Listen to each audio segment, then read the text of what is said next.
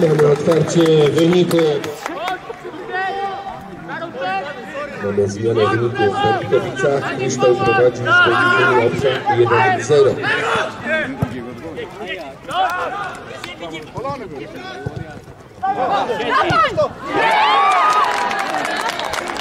A w Tomaszowie Daniel Szyka podwyższa na 2 do 0.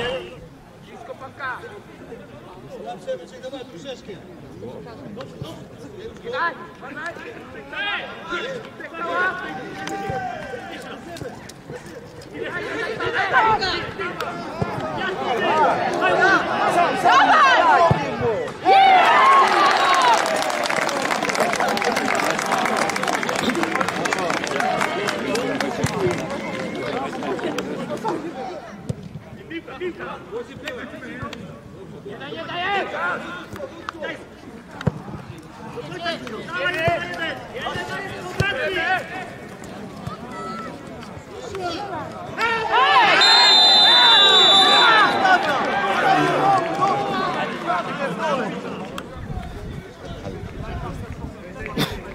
Dawaj!